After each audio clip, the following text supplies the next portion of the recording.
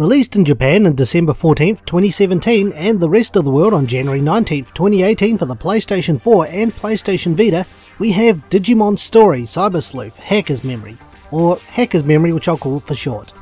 Based off the Digimon Virtual Pets which came out in 1997 after the success of the Tamagotchi, Digimon is now a franchise consisting of the Virtual Pets, multiple anime series and movies, and a variety of games. Developed by Media.Vision and published by Bandai Namco Entertainment, the game serves as a sequel to Digimon Story Cyber Sleuth which was released in Japan in 2015 and worldwide in 2016, which my co-host 16bit reviewed. Much like Digimon Story Cyber Sleuth, which I'll shorten to Cyber Sleuth from now on, Hacker's Memory is a third-person turn-based RPG in which you raise, train and battle Digimon. I also just realised that I just described Pokemon in that sense too, but that should give you an idea on what to expect, though in Digimon's case you can have up to 3 Digimon out at a time, and have up to 11 with you. In Hacker's Memory you play the role of a young man named Keisuke Amazawa, though you can change his first name if you wish. Keisuke had recently fallen victim to having his account for the online network service Eden stolen, while he had a friend set up a temporary account for him, Keisuke was labelled as a hacker because of this and as a result he stopped going to school. After agreeing to meet at the Digimon market which is frequented by other hackers with his friend Yu, Keisuke chooses to go by himself as he didn't want to get his friend involved. After purchasing his first Digimon and causing a fight by wanting the owner to release the other Digimon, Keisuke catches the attention of Yuji Mishima, the leader of the hacking team Hudie. Ironic to what he's been labelled as, Keisuke decides to join Hudie as a hacker as they go around using their hacking skills for good and to find out who stole his account. While I did say the game was a sequel to Cyber Sleuth, the story for Hacker's Memory actually runs parallel to Cyber Sleuth, and as such you'll see characters and events from Cyber Sleuth appearing while Keisuke works for Hudie. You can even import your data from Cyber Sleuth for some additional items, access to the Digivolutions that you've unlocked in it, and for some reason your overall playtime. But is this game any good? Find out in The Good. Personally, I found the story of the game to be quite refreshing. While it runs parallel to the events of Cyber Sleuth, you don't necessarily need to have finished Cyber Sleuth or even play it to enjoy Hacker's Memory, though it is recommended for the best experience.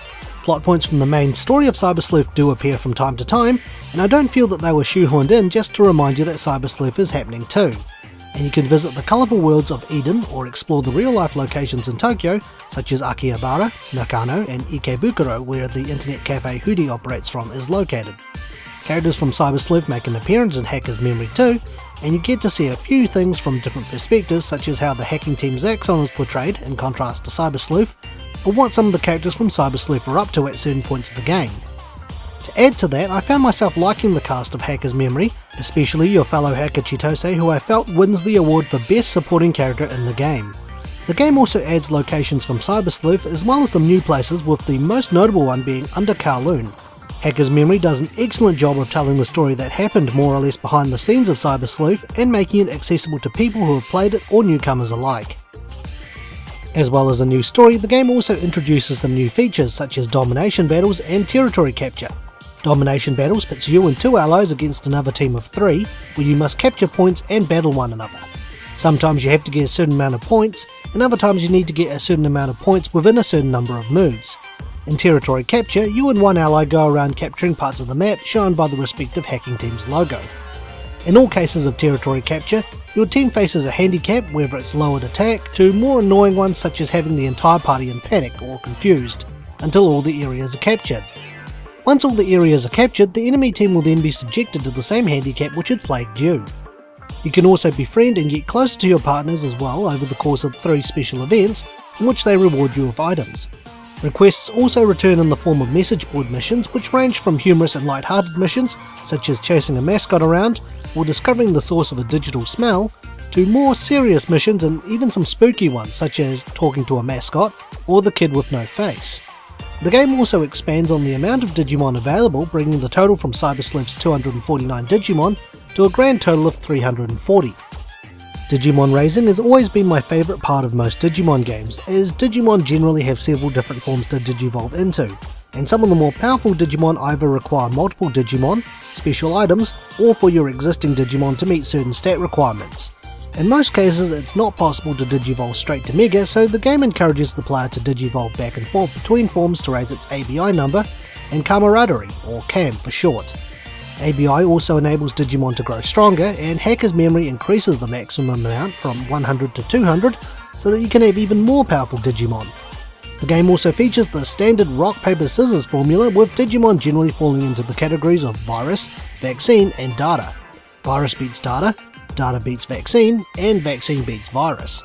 The game also adds different element types to mix up the type matching and to increase or decrease the damage based on whether you have the advantage or not.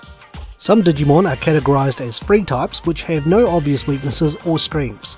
But alas, that's all I have for the good, so let's go to the stuff I didn't like in the bad. The Digiline feature which allows you to talk to your Digimon and other characters was something I liked in Cyber Sleuth. Not so much in Hacker's Memory. Every now and again people you talk to on Digiline will ask you a question and you can respond with one of three answers. While the humans respond to you, the Digimon do not, which is something that Cyber Sleuth handled better. Most of the time your Digimon will quiz you and if you answer correctly, in Cyber Sleuth they'd praise you for getting it right. In Hacker's Memory they don't even respond back, so you don't even know if you've answered the question right or not. The game also suffers from grammatical errors and a personal pet peeve of mine, mouths being out of sync with spoken dialogue.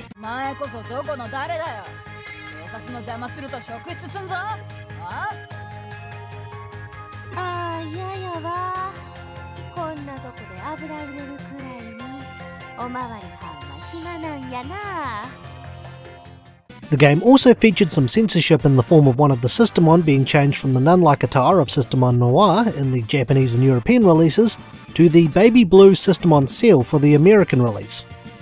The game's difficulty is also something I had an issue with. While Cyber Sleuth had free DLC missions in which the Digimon could easily slaughter your team, Hacker's Memory felt more like a walk in the park in comparison.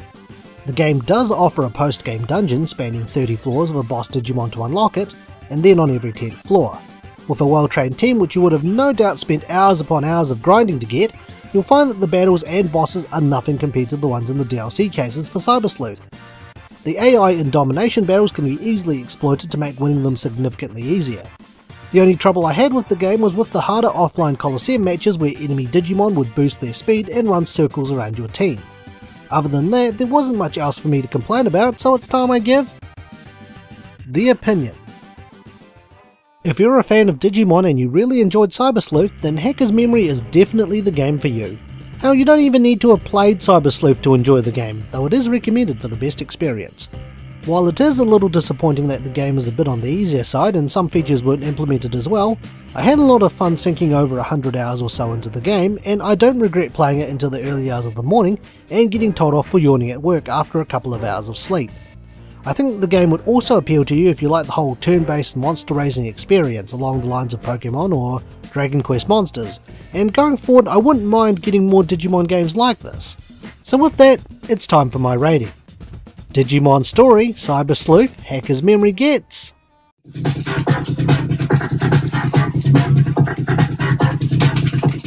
Thanks for watching and stay tuned for the next Infinite Backlog Review. If you enjoyed today's review, feel free to check out some of our other videos and subscribe for more. You can also follow us on Twitter, Instagram and our Facebook page. Once again, thank you for watching.